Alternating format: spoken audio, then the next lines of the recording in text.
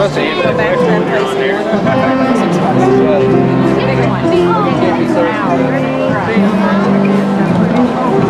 They they don't even know they're supposed to answer a question.